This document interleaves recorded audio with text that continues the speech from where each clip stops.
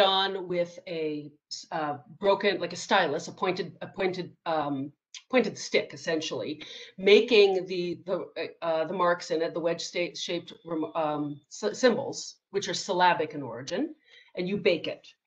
And that in itself then influences what we call something, the language of Proto-Sinaitic, early, uh, early, early writing again on potsherds, inscribed on stone, that fundamentally, uh, after it meets the Egyptians in a little bit, and I'm kind of going over this quickly, gives us the Phoenician alphabet that gives us the Greek alphabet. And here again, we have a Greek kylix. This comes from a little later of the time of the Dark Ages. Uh, the Dark Ages, it's an archaic piece with the Greek alphabet around it. So we're we're drawing on our ability to even write um, epic poetry from thousands of year of languages that influence the language and the expression. If we put this into epic tradition, and many of you, if not all of you, I'm sure have heard of the Epic of Gilgamesh, and many of you have read it. I know many of you have read it because I assigned it last semester. Uh, the Epic of Gilgamesh, which is preserved in part here on this tablet. This is one of the broken, it's in multiple, multiple tablets found over a course of, of multiple excavations. This is one of the larger fragments of the Gilgamesh Epic from easily 3000 before the Common Era. And it gives us our first and our longest epic tradition. So long before Homer and the Odyssey, we have a tradition again of epic poetry. And what is, I mean, epic poetry? It's you know epic right it, it's it involves heroes it involves quests it is long it is involved it gives us values it gives us ideals so we are placing the odyssey and placing Homer and the tradition of writing like this in a much, much longer context. Gilgamesh, as is, I think, fairly well known, tells the story of a, of a fictional king who goes on a quest to discover the meaning of life and to see if he can overcome death. Uh, he fails signally to overcome death, coming to the conclusion that it is the human condition is to be mortal. But he does manage to come up with uh, a number of statements about the meaning of life and what you should value in life. You'll notice we're coming back to values. So not only does Gilgamesh come to the sad but true conclusion that all humans are mortal, but then he comes to the conclusion that the meaning of life is to live a good life and to live it well to the best of your ability and to leave behind you something that people will remember you by. And that's how you achieve immortality. Also, in the tale of the epic, the epic that gives us values and that gives us a hero and that gives us ideals and standards that cultures can base their ideas on, excuse me, is the tale of Sinuhe from Egypt. That's this here, or a portion of it on papyrus that's been straightened out, that's been rolled. So, and Sinuhe so about a thousand so odd years later, tells the story of an epic adventure of an Egyptian courtier who has the signal misfortune to be in the wrong place at the wrong time when the ruling king is assassinated. And being afraid that he was obviously because he was in the wrong place at the wrong time, being afraid that he will be implicated in this, goes on a rather long and arduous journey from Egypt across the desert up into the southern Levant, into ancient Canaan and what, what will eventually become ancient Israel, and undergoes all sorts of trials and tribulations, nearly starving in the desert or dying of thirst in the desert, and fighting off, uh, uh, exhibiting his military prowess. Um, save eventually marrying the right woman or marrying the, the, the, chieftain's daughter and finally eventually at the end of his epic journey and his quest making it back to egypt so that he can live a comfortable old age surrounded by family uh, uh, the correct lifestyle um, the, values of again of, of, of family allegiance to the king lifestyle morals and values and then we have the Iliad and the Odyssey. So to contextualize them again, we are now putting Homer or um, Homer and, and, Odysseus and all of his his peregrinations and his trials and tribulations in the context of a very long tradition. There are other epics out there. These two are the most famous, Gilgamesh and Sinuhe, of human cultures having a protagonist who is traveling around, either trying to get home or trying to find something, undergoing all sorts of challenges along the way, and the ways in which he meets them then reflects on the values and the ideals and the morals of the culture as they go forward. So now we have put the Odyssey in place. I should also say, if people have questions as they're going along, um, and you don't want to wait till the end, throw them in the chat box or speak up, and I will do my best to, to answer them as, as we move along. So the Iliad and the Odyssey, right, it comes up with, we have the quest, we have the hero, we have honor. And again, here is a sort of a stylized version of, of Odysseus, presumably between Scylla and Charybdis. And this here is a Rome, it's a Roman bust of, of Homer.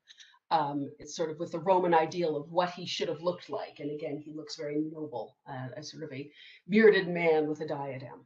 So he, he reflects now this bust of, of, of Homer done by the Romans reflects how the Romans feel Homer must have looked as the man who wrote about the quest and the hero and the and honor and virtue and strength and military prowess.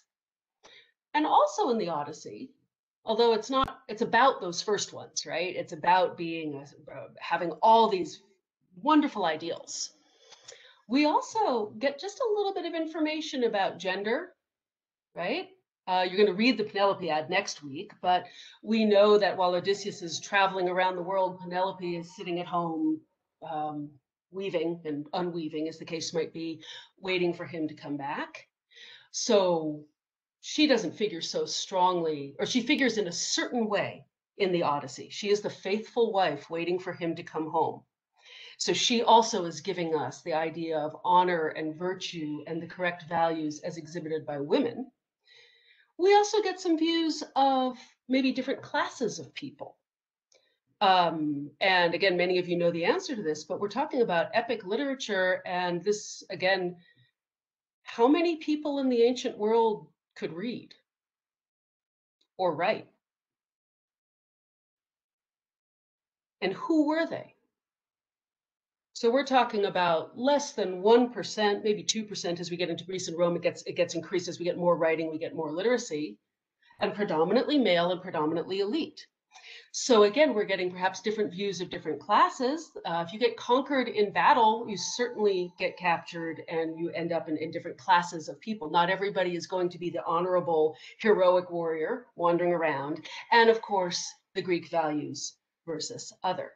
So we have ideas from earlier traditions, they've been adapted, they've been adopted, and while also promoting these wonderful ideas about quest and hero and honor and virtue and strength and prowess and family and all of this, we also get some other kind of interesting glimpses into different society out there. So, uh, what about gender, class, and character? Right? So we have women in ancient Greece, a variety of different status. It depends on where you lived, right? Uh, in Athens, you might be considered a citizen, but you certainly aren't going to vote. Barred from all political activity and any activity that was acceptable, and here I am talking about upper class women, elite women. Activities were confined predominantly in the household, absolutely not in public or in public view and so the woman the woman's role her gender role in in greece um, as set out there. And you can see this in some ways in penelope in, in in the figure of penelope who is at home being almost a perfect greek wife. That you are the duty is to bear children right? Preferably sons. And the marriage formula in athens is i give this woman for the procreation of legitimate children so a woman again would go from family household to husband household, right? In Sparta, and I'm sorry, my my um, image is over that a little bit. Women in Sparta had certainly more um, rights, could own and inherit land, could do have athletic training, um, could participate in the games. But again, this is elite women, and we see women also working as priestesses, women working as prostitutes. And then again, the entire lower class of women. So one thing again about a classic is we don't the classic gives us the classical values, but we also then have to consider a large proportion of the rest of the population. There's also class.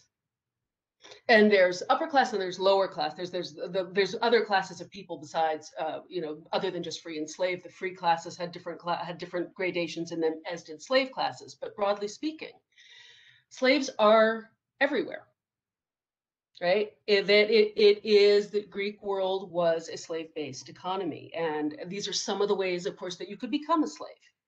One could be born into slavery. One could be captured in battle and war. Again, something that we would see in the Odyssey and the Iliad and the Odyssey, what is happening to the defeated people one could sell oneself into slavery to, or you could sell a family member, which I guess would be, you know, so you could sell your children, so to speak, to pay debts or to meet economic um, requirements. And you could always be uh, taken into slavery. Uh, slavers and pirates, again, this is the Mediterranean Sea that has pirate, the history of piracy in the Mediterranean is cool, but we'll deal with that later. Uh, piracy has always been in the Mediterranean. And so again, we are talking about um, class from the Dark Ages through classical Greece and into Rome. I'm not dealing with Rome in this talk at all, um, but the Roman economy was also absolutely predicated on having a class of slave labor. Um, to for agriculture, for the fields, for industry, for mining, um, any kind of mining, um, which is was especially in the ancient world dark, dirty, unhealthy, and a very short lifespan would have been done predominantly by enslaved persons. And then there's the personal slaves, the household slaves, and gradations there, and in some cases, slaves in the military. So it's necessary to Greek life. And again, we get references from it. We can see it in some here. Again, we have images. This is the image of a fine Athenian lady, right, who is, appears to be managing her household. And so the the it's the visual image of what a lady should in fact look like right? But we can assume that the potter was was giving us this ideal. And then likewise, here we have, and you, you can sort of see by that, the, the, just the lack of garments is a visual indicator sometimes of status, that you have a group of slaves here working on one of the agricultural estates. It looks like they're you know doing something here to get fruit from the trees or some kind of agricultural activity. So again, this is normal um, and endemic and throughout the Greek, uh, Greek ancient world. That is again giving us both classic views and also we see that it gives us insight and that we should not in fact forget the majority of the population. You haven't read the Penelopiad yet, but the Penelopiad, even it's by a modern author, right, who is in fact pointing to this very this very fact that while the Odyssey is playing up um, as it should do, as an epic poem. epic poem is talking about the, the great actions of the hero and honor and virtue and all of these ideals. That there's more than 85% of the population then that is is left out that we don't hear about or who doesn't benefit from these classic ideals in the same way. I'm going to move somewhat quickly er through, um, as I said, so that there is time for questions and things like that. And I think someone told me 40 or 50 minutes here, but the same idea of image and art. So moving away from, so from text and what we get and what we don't get in this, in the tradition of writing. We also generally get our ideas of art and imagery from the Greek and Roman classical world, right? That the and by aesthetics, right? Aesthetics are, of course, what we find. If you say you find something aesthetically pleasing, it is visually pleasing. Aesthetically displeasing, we think it's ugly, it's out of proportion, it's wrong. And the imagery. And this looks very comfortable to us. We are, uh, we, we get ideals again, and this is the visual confirmation of the same ideals that we see in the Odyssey right? Here we have, a, this is a statue of one of the Greek gods, but again, the sort of the perfect male form, and he is he's missing his spear, but uh, you know, exhibiting again the values of military prowess and um, sort of oozing honor and, and strength and all of that. This looks funny to us. and again, some of you who sat through Western Civ last semester know, have seen this before. This looks different to us, right? It's a completely different way, aside from the fact that one is a, one is a wall sculpture and one is a sculpture in the round, just dealing with the, the, the differences of there. It is a very different way of presenting humans. This is from ancient Egypt, circa 2000. And it's certainly not that the Egyptians couldn't give us the imagery, the uh, an, a, a two scale, completely proportional human figure. They chose not to. What they're doing instead is giving as absolute much information about the human body as possible. So what they're trying to show people both from the front and from the side and to show motion of arms and legs to give as absolute much information about the scene as possible. So these objects that are sitting on a table here are not unrealistically piled up. It's a way of showing you what's on top of the table. That if we had done this in proportion or in the correct view that we, or what we call the correct view, the correct Western view of proportion, the canon of proportion, we wouldn't be able to see those materials. And so we are presenting a different type of imagery. So again, here we have something that looks terribly familiar to us, right? Again, and for Greek imagery, the nude male was the absolute standard of aesthetics, right? Uh, the nude male form was, again, meant to provide imagery of uh, virtue, honor, strength, um, uh, proportion, uh, pleasingness. And again, some of you have seen this before. This looks odd. What's wrong with this fellow? I mean, aside from the fact that there's a human head on a bull with wings and it doesn't appear naturally in nature.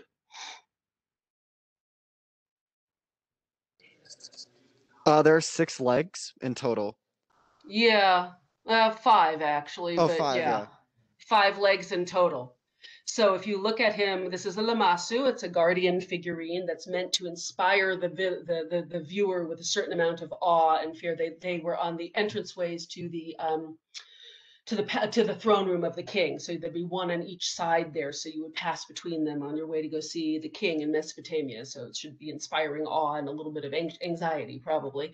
So from the side, he's got four legs, and from the front, it looks you would see him standing there. So again, what's being shown is as fundamentally coded to the society that produces it. And so you say, so what? So we are used to seeing this type of imagery.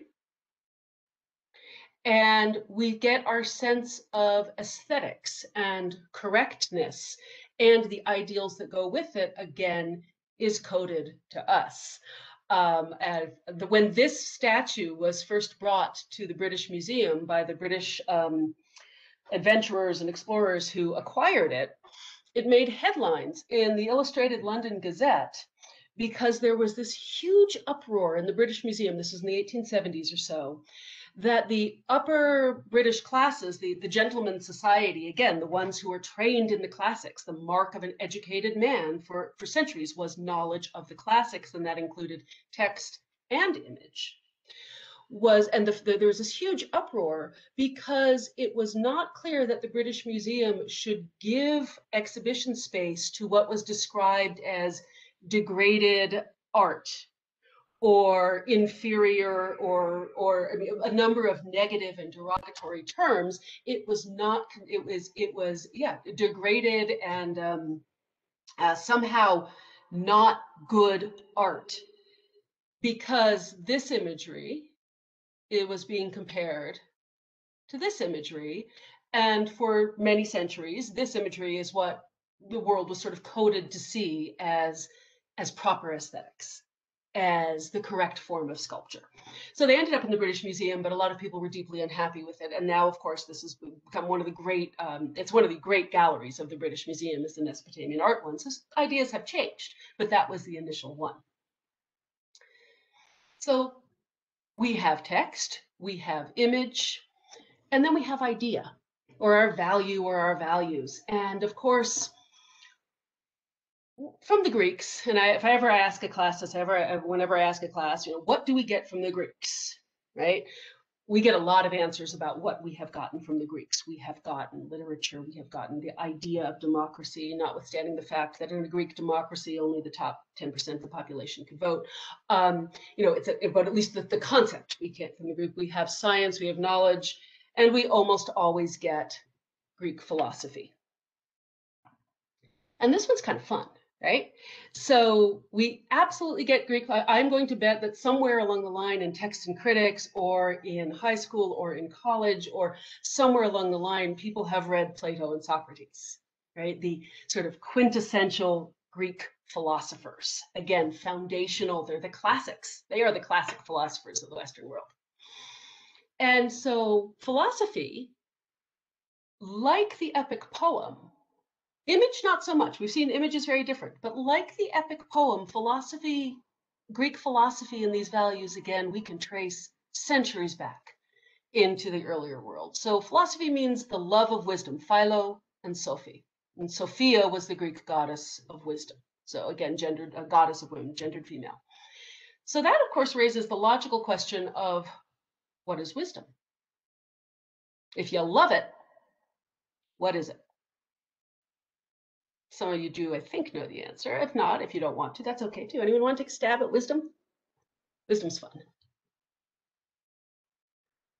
Wisdom is more than just being knowledgeable, right? We talk about a wise old man or a wise old person, a wise old woman or something like that. Well, we think they have a lot of they, they have a lot of knowledge about the world. And that is essentially that wisdom is the knowledge of the nature of the universe, the place of the divine and humans within it, and if you have a knowledge of the nature of the universe, then you should have a knowledge of, yeah, the place of humans. Think back to Gilgamesh's quest. He is looking for what it means to be human. He discovers humans are mortal. Sinuhe goes forth and has all sorts of adventures and discovers that being at home in his home country with his family and in his monarchy, that that is the correct place for him. That is his place in the universe. Odysseus travels all over the greater Mediterranean, fighting all sorts of things, of course, trying to again win his way home to his wife and his family so it is in some ways speaking to the nature of this is broad more broadly thinking of what is the nature of humans and the nature of the universe and where are humans supposed to be? And wisdom. Again we actually in this case we get from the egyptians. The mesopotamian materials a little bit later as you can see. Uh, the egyptian wisdom literature there is an entire body of literature text after text after text from as early as 3000 that talks about how you live correctly and it sets up what there's always the wise man versus the fool. The wise man will do this, that, and the other thing. The foolish man doesn't do this because, and he's an idiot, and it doesn't work out very well. And that we fundamentally get ideas that it talks about everything from as ridiculous or as as minor as table manners, as to ideas about how to act, um, how to be, you know, how to behave, how to consider yourself human, how to place yourself in the world around you. And this here, which again I think is a very well-known scene, many of you will have seen it, is what's called the negative confession. It's an early piece of wisdom literature where were you to be dead as an ancient Egyptian, uh, in theory, you're not only you are judged before the goddess of Ma'at, the goddess of Ma'at is the world as it is supposed to be, the order of the world, also a goddess. And so as we can trace Sophia in some ways through a lot of different permutations. It's not a direct line in any way, shape, or form, but this idea that there is a goddess who represents the correct order of the world. Uh, this is the dead person here um, praying before the deities. His heart is weighed on the scale, and the heart is weighed against the feather that sits on Ma'at's head. So you weigh your what your deeds have done against the correct living in the world, and then it is written down in front of again a symbol of the order of of, of having lived correctly. All of this, this is far more interesting. This is just this, this shows the imagery that goes with it. This, all of this, is individual statements that as a person you're supposed to say you did not steal you did not cheat, you did not murder, you did not um, disrespect your parents, you did not disrespect your elders. It is a list, uh, you did not um, uh, swear before the, uh, swear falsely before the gods. There is list after list after list after list of what you should, what you say you didn't do, because by not doing it, you proved that you were a good person. And it's called the negative confession because you say that you did not do it, so that you proved you have lived according to wisdom. And so we start with the Egyptians, we go through the Mesopotamians, and it comes back to us these ideas again in Greek philosophy, Greek literature, Greek art, and Greek ideals, and in some cases directly into what will eventually be, of course, the one of the great works of the Western world, which is the biblical literature. This is Ecclesiastes or Kohelet, who tells us uh, in the biblical text, the author says that he applied his heart, his idea, to inquire and search for wisdom in everything that was done under heaven. Ben Sirach 24 tells us that all wisdom comes from God. So, and, and it was created before all things and prudent from understanding. The Greek philosopher Zeno tells us that reason is what he calls concatenated reason is always with the gods, that there is reason with the gods. And what's really quite interesting is that if you are reading Zeno and he says concatenated, concatenated reason is with the gods, concatenation, concatenated reason in Greek is logos, which of course gets us to the idea that is reflected in the Gospel according to John, uh, chapter one, line one. In the beginning, there was the, where there was logos, and the logos was with God. So again, we have these ideals of behavior that are have their roots can be pushed back for thousands of years meet in the epic poem and in, in epic poem and, and then the traditions that are associated um, with, whoops, sorry, with the Greeks. Oh dear, that was not what was supposed to happen. Bear with me. As I said, not good with the Zoom presentation or the WebEx presentation for that matter. And we, I'm now on the right screen. So we have all these ideas, they go back for thousands of years, right? Um, again, not so much imagery. Imagery, in some ways, we don't have as much influence from the past worlds, but we have a very strong sense of what the Greek classical imagery should be. And many, many of our modern standards, values can be traced to Greek culture. They can be traced back to the views and the values of the cultures that have preceded them. We see them in the Odyssey. You read the Odyssey. The Odyssey is fabulous and it reflects many of those right? And so that's why again we read the odyssey we it's a classic it is set in curriculum and culture. And those legacies then we're still reading them we still focus on the classics we still find those values and ideals are still held dearly in various parts of society. But right it only reflects a very very small portion of the peoples of the ancient world. We are reading the material and seeing the imagery and getting the ideals again of a certain proportion of the world, the, of the ancient world that gives us these ideals. So again, I understand you read the Penelopiad next week, which is awesome, right? And it, it's it's a, a so a modern a modern author then saying, well, let's look at the voices and the views and the values and the experiences of those people. Let us look here. Here again, we have a woman with her female servant is standing in front of her. Let us look at the slaves. This is an image of slaves mining, again on Greek imagery. This one I've chosen, this is not Greek. This is a Mesopotamian figure. It's a Sumerian figure. So it's from about 3,500-ish BC. So it is old. And it shows a tradition of, of an old man here. You can see he's kind of an older man. And it reflects the tradition of worshipers going to the Sumerian temples. And again, they're not literate, they're not upper class, they're not going to be anything like that. And to leave an offering so that maybe the gods, if you live according to wisdom, if you live according to wisdom and you leave an offering and you're a good person, maybe you will have the correct place in life. And so here's this image, a little statue. You'd leave behind a statue to show that you'd been there. You'd leave behind a little a little image saying that you'd been there. And this gentleman here is obviously bringing his little lamb, the little sheep, and going to be a good person in the ancient world. And we don't have his voice, but we have his image. And so, altogether, if we bring it back to classics, and I think that, whoops, that was it. We have, I'm sorry, if we bring it back to the classics, the classics again give us a wonderful set of ideals and text and image and ideas. And we perhaps also then remember, and the Penelopiad would do that, is that there's lots of other ways and views to look at the rest of the world that is left out by the classics. And with that, I think I read a little over time. I apologize. I am done. And thank you very, very much if you are still out there. And I will Thank stop sharing the you. screen. Thank you so much, Dr. Cohen. Um, we are now going to go into our questions section. If anyone would like to unmute themselves and ask a question or type in the chat, we've got one in the chat. I Um, see one in the, let me, oh, now I can see my chat box, so, great. okay.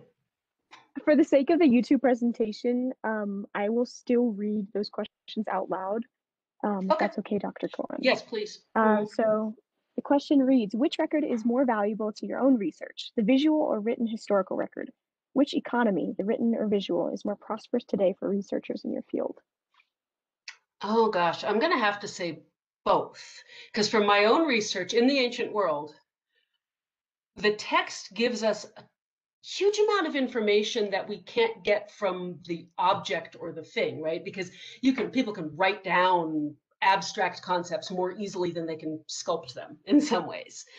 But there's also always the concern when you go when you're that far sort of back in time is the writing in and of itself is also an artifact like uh, so the question is of course going to be who who wrote it and what was context was it found in and everything. So ideally what we end up with in, in my field is you have people who specialize in language. I'm not one of them. You have people who specialize in the artifact that is more in my line of work but there is there has to be a dialogue between the two. You have to use them together. Um, I don't think that actually answered your question, but um, there are people out there who do all of that, um, both image and text. Somebody else want to ask me something?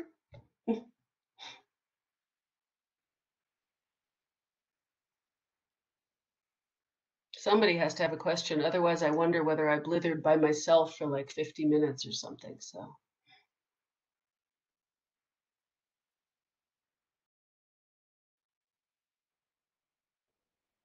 Uh, I actually have a question. Um, oh, I will read Zachary's first. Yeah, Uh, what inaccuracies have there been in interpreting ancient Greece that have affected our culture? I saw a documentary about how ancient statues and buildings were not purely white. They just got bleached over time, but this has influenced modern design, for instance. Oh, absolutely. Only in the latter part of the 20th century was it realized, like, again, that pure white marble statue was held up as this gorgeous, you know, this aesthetic, you know, ideal.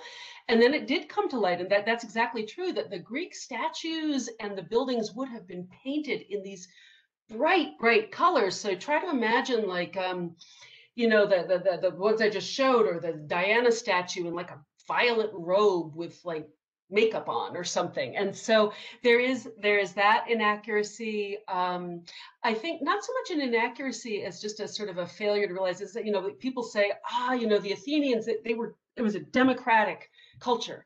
And it was if you were a, an elite male over 18 you had a vote.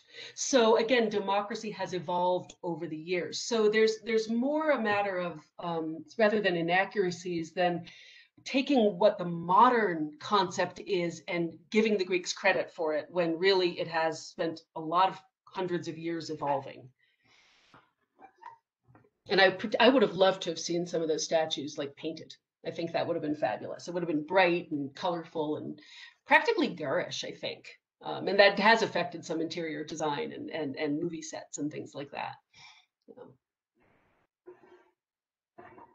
Um, I wanted to ask something kind of just, it's a little bit more of a modern context of something. Um, and it's about, um, I believe, if I can remember what it was, there's a massive statue that used to exist a long time ago, and it was a statue of Helios in Greek culture, and I some reason can no longer remember the name of that statue. Mm. And they tried to rebuild it, or there was a plan in 2018 to bring it back to life. Do you know anything about that specific statue? I the largest statue of the ancient world I can think of is the Colossus of Rhodes. Yes, that's the exact one. They wanted to rebuild it, and I don't know what else has been going on with it. I don't know that it did. Um, yeah, the Colossus of Rhodes, yeah, was I don't know the original size or anything, but it was it did it, it stood out as one of the great one of the great um, building projects of antiquity. So pyramids, Colossus of Rhodes, Library of Alexandria, um, and yes, it, it would be there. What is interesting now is is I guess what this goes back to the question about inaccuracies and is it's there's a lot of you know we we tend to look to the past to find um, support for the present. Um, so I can't speak to the Colossus of Rhodes, and this is probably not a great example, but for example, um, uh, Saddam Hussein try, had a replica of the Great Ishtar Gate of Babylon rebuilt. That the actual bricks of the Ishtar Gate of Babylon are in the Pergamon Museum in Berlin, but because it spoke to this time in, in back in history of when when Babylon was the big city of the era, so rebuilding the gate sort of speaks to taking ancient achievements and making them relevant in different ways for modern culture. And that's not unique to the Babylonian Gate. So Colossus of Rhodes, I think, would be the same sort of thing, but I don't know anything more about that. I'm sorry.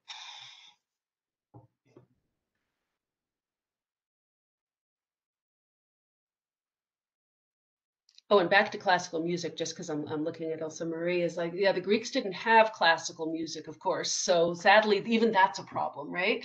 So, and and- and no music notation. Right. Which, But they, yeah, that's right. But they did create the modes, which is so interesting. Yeah. Um, the yeah, Mhm. Dr. Cohen, um, I just wanted to say thank you. This was absolutely extraordinary. And for the trained students, your timing is so perfect, right in the middle of the Odyssey and the Penelope, Pene- Penelopiad. It's just phenomenal.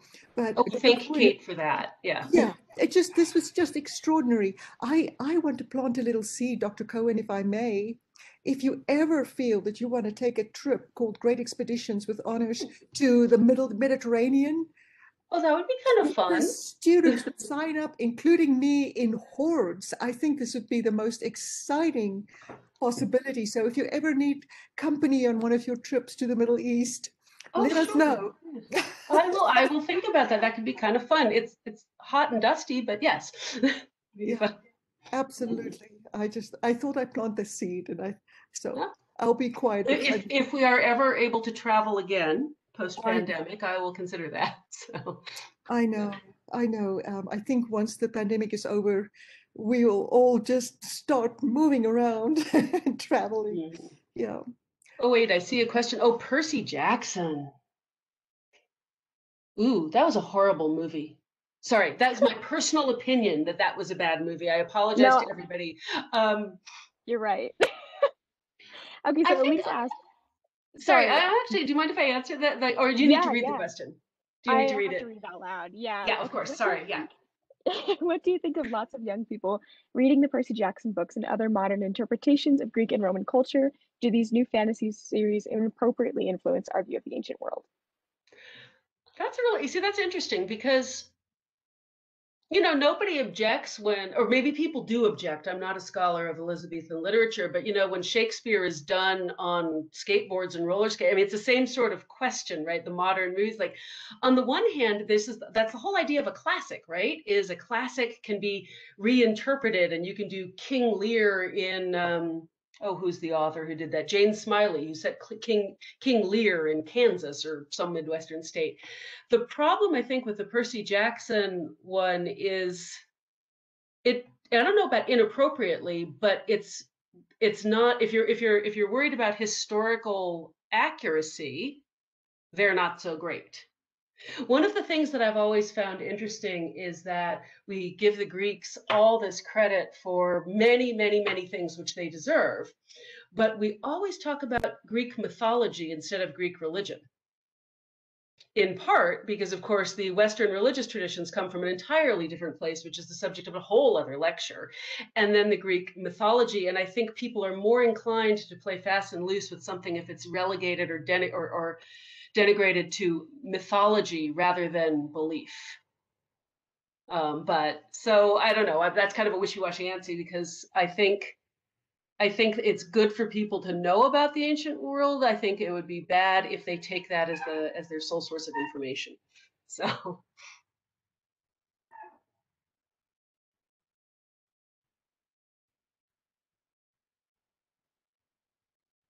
If anyone has any other questions, feel free to unmute yourself or type in the chat.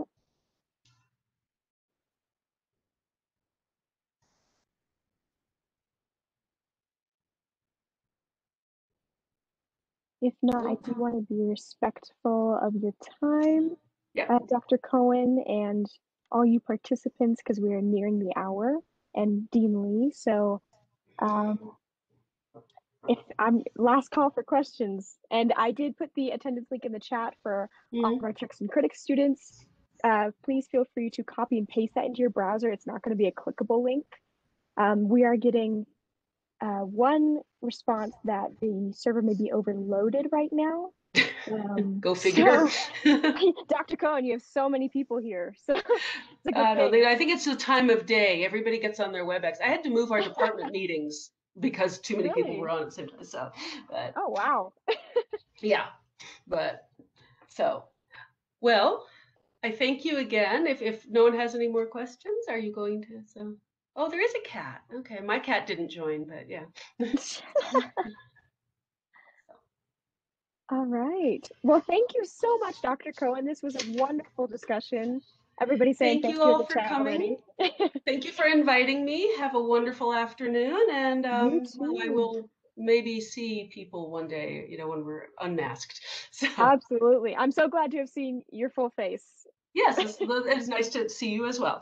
So, all right, thank, thank you all. Have a have a fabulous afternoon. All right, bye. Bye, everybody. Bye, Bye. Dean Lee. Bye, everybody. Bye, Dr. Cohen. Thanks again. I'm going to end the meeting here. Yeah. Bye.